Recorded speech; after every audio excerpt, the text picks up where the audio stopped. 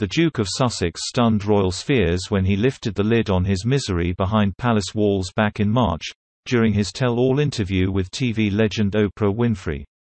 He and his wife, Meghan, made a series of allegations against the firm, with particular emphasis on the way they handled race and mental health, only deepening the rift between the Sussexes and the royal family. However, when Harry returned, on his own, to attend Prince Philip's funeral in April, royal watchers had hoped that a reconciliation was on its way. The estranged royal was seen chatting to his brother Prince William and sister-in-law Kate, Duchess of Cambridge, after the somber occasion. Yet, royal biographer Robert Lacey has recently claimed the Cambridges did not actually talk in any detail to Harry out of fear that, any discussion of substance would go straight back to Meghan to be leaked out via Oprah or some other tentacle of the Sussex network. It seems the Duke of Sussex may not have had much luck with the rest of his family either. As sources told Vanity Fair he was privately shocked by the frosty welcome he received, which subsequently left his wife Meghan surprised, too. They said, the Duchess is said to be concerned about Harry's solo transatlantic trip, because he is wary about the reception he will get back at home. He was privately shocked by the frosty welcome he received from some family members when he returned to England for the April funeral of Prince Philip. Royal correspondent Katie Nicholl said, Prince Harry has encountered frostiness from many members of his family. One family friend told her, Harry was out in the cold after Oprah and then when details of private family conversations were leaked to Gayle King it was the final straw. Some family members cannot believe what he has done.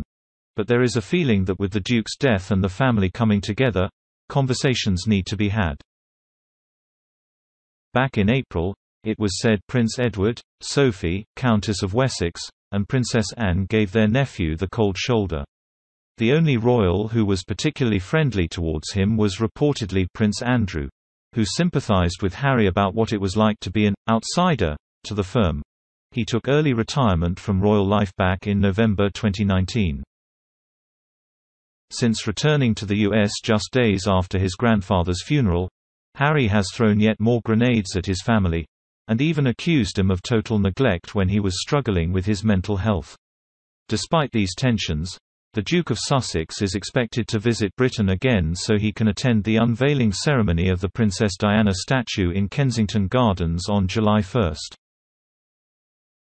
He and William commissioned the statue back in 2017 to mark 20 years after her death. It will be revealed to the public on what would have been her 60th birthday. There has been much speculation over whether the pair will be able to put on a civil display for the occasion, as their relationship is still heavily strained in the wake of Harry and Meghan's royal exit and subsequent interviews.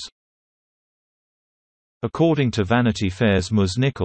A mutual friend of the prince's told her, there have been conversations after Lily was born and to make plans for next week, but things are still very strained. Kate was also asked about the arrival of her niece, Lilibet, during a recent press conference in Cornwall. She said, I wish her all the very best. I can't wait to meet her. We haven't met her yet. I hope that will be soon. She also confirmed that she had not met her niece via FaceTime either, unlike the Queen, who the Sussexes reportedly called as soon as they returned from the hospital with their newborn. Royal watchers took this as confirmation that the relationship between the Sussexes and Cambridges was still difficult. Harry and William are also set to make separate speeches to commemorate the unveiling of their mother's statue in July, but are reportedly looking to make a show of unity for the occasion so as not to move the spotlight off their mother. Meghan will not be joining Harry, as she gave birth to Lilibet only a few weeks ago.